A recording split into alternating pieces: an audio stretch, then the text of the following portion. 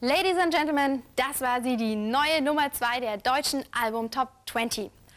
Und allein schon mit diesem Einstieg ist Sammy Deluxe das deutsche Hip-Hop-Comeback des Jahres gelungen. Danach kommt im Moment höchstens noch Sido.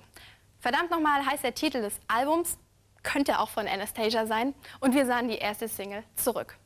So, kurze Pause, erstmal zum Luftschnappen und danach gibt es dann hier den schniegeschicken Spitzenreiter der deutschen Album Top 20. Keiner schreibt mehr Songs als R. Kelly. Sein neues Album kommt wieder im Doppelpack. Happy People, You Saved Me steigt ein auf der 10.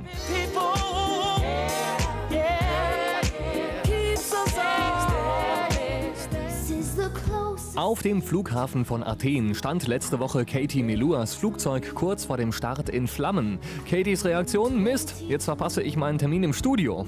Call of the Search auf der 9.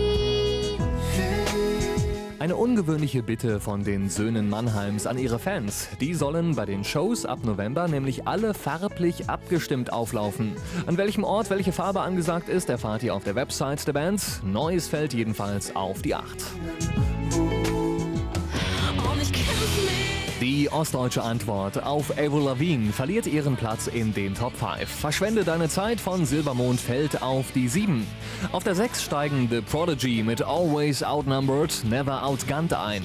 Und zwei runter geht's für die Lollipops. Tanzen, lachen, Party machen, jetzt auf der 5.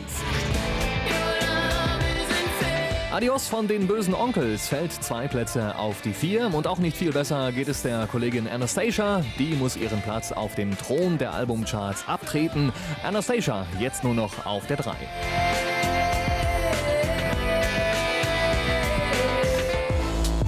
Auf seiner neuen Single zurück protzt Sammy Deluxe ja ganz schön, wie hysterisch die Leute abgehen, wenn ein neuer Release von ihm in den Läden steht. Anscheinend hat er nicht übertrieben. Verdammt nochmal, geht aus dem Nichts auf die 2. Ich bin zurück in meinem Element. Zurück bei den Album Top 20.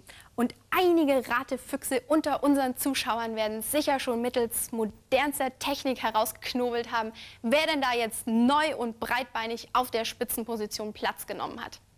Die Ärzte natürlich und ihr hübsches Allround-Versorgungspaket, die Band, die sie Pferd nannten.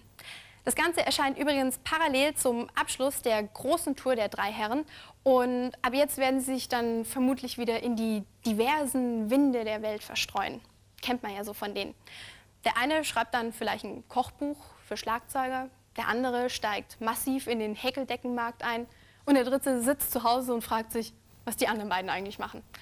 So oder ähnlich muss man sich das wohl vorstellen, wenn die Ärzte eine Pause einlegen. Hier kommt aus ihrem Werk zum Überwintern die Band, die sie Pferd nannten, Deine Schuld.